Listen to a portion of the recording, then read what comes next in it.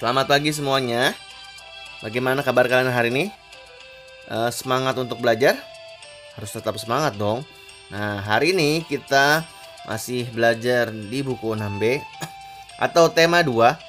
Kita akan belajar PPKN di subtema 3 dengan tema manfaat persatuan dan kesatuan bagi bangsa Indonesia.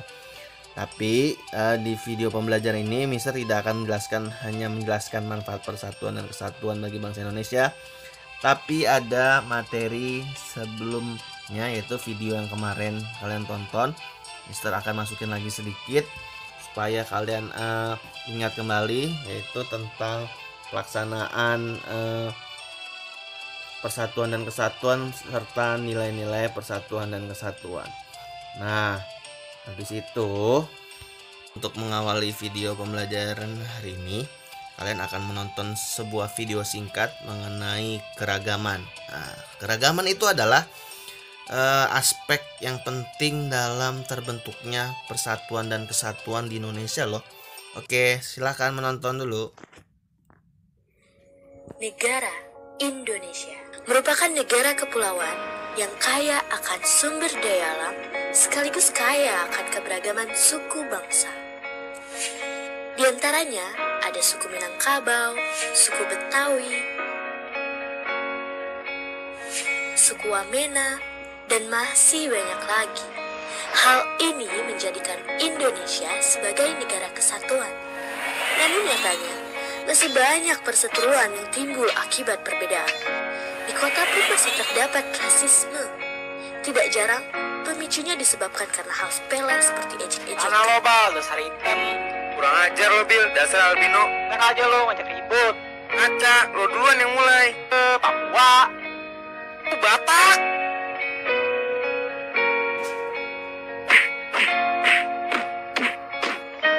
Hal buruk ini tidak akan terjadi jika kita saling menghargai atas segala perbedaan. Mulai dari perbedaan budaya, perbedaan keyakinan, perbedaan warna kulit. Sudah saatnya kita berubah menjadi lebih baik, di mana mayoritas bersatu dengan minoritas dalam rasa solidaritas. Dimulai dari diri sendiri, lalu membiasakannya pada orang lain. Karena perbedaan itu adalah alasan untuk bersatu.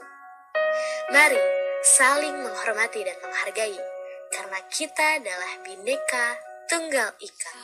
Berbeda-beda tetapi tetap satu jua. Satu bangsa, satu Nah, dari video tadi kita sudah bisa uh, melihat tentang keragaman budaya, ada keragaman keyakinan, warna kulit.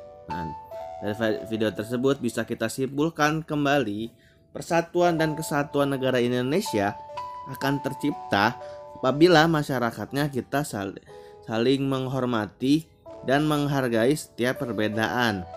Hal ini bisa kita mulai dari kita sendiri lalu membiasakannya pada orang lain. Nah, minggu lalu kita sudah belajar mengenai pelaksanaan nilai-nilai persatuan dan kesatuan dalam kehidupan sehari-hari seperti di rumah, di sekolah, dan masyarakat. Hal tersebut kita lakukan dengan bekerja sama dan kompak agar tercipta persatuan kesatuan. Nah, setelah ini kita akan menjelaskan nilai-nilai kepahlawanan dalam kehidupan sehari-hari yang sudah ada di minggu video minggu lalu juga ya. Nah, di sini ada rela berkorban dan berjiwa besar. Mister akan singkat saja. Nah, rela berkorban mau berkorban untuk bermain games, isikan uang saku, bergotong royong, berjiwa besar mau menerima kekalahan, minta maaf dan mau membantu walaupun orang tersebut tidak menyukai kita. Terus ada lagi pantang menyerah. Nah, itulah nilai-nilai kepahlawanan dalam kehidupan sehari-hari. Selanjutnya, persatuan dan kesatuan perlu diterapkan dalam kehidupan berbangsa dan bernegara.